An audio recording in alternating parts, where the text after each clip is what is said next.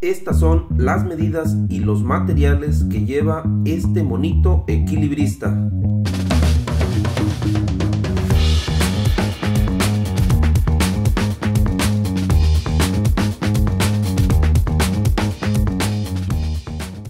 Se podría pensar que para que este monito equilibrista se mantenga de pie, debe de llevar algún imán oculto en la tapa de este frasco. Sin embargo, no es así. Miren, aquí lo pueden ver ustedes mismos, no lleva ningún imán. El agua solamente es para darle peso al frasco y que así este no se pueda caer.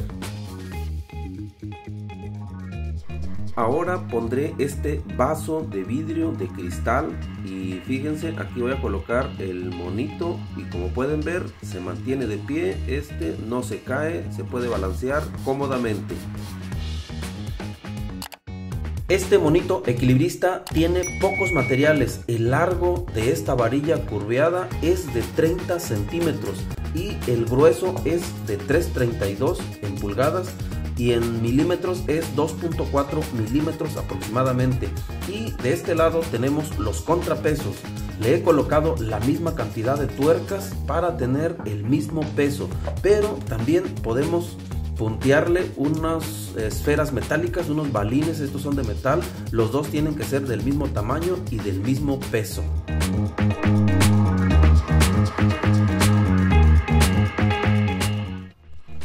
Para los brazos es una varilla de un octavo o 3 milímetros aproximadamente. El largo es de 6 centímetros que está con esta curva doblada por la mitad. Y aquí tenemos esta, la abertura entre manos es aproximadamente 3.5 centímetros.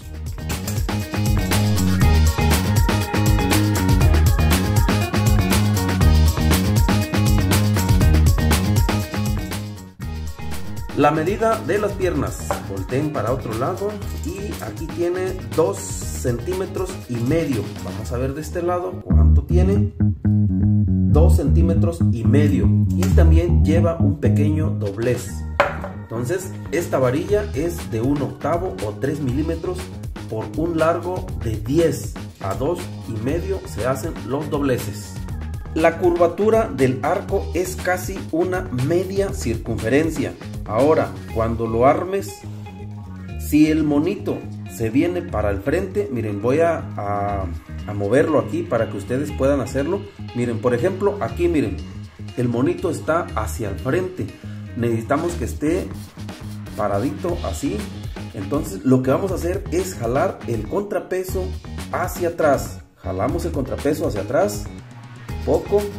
Ahora miren, ya se enderezó un poco. Vamos a darle otro poco más sin pasarnos, miren, ahí ya quedó.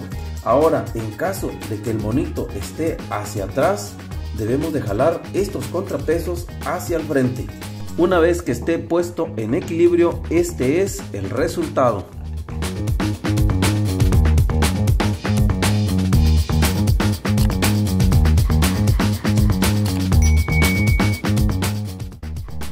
De forma similar también podemos hacer este otro. Podemos balancearlo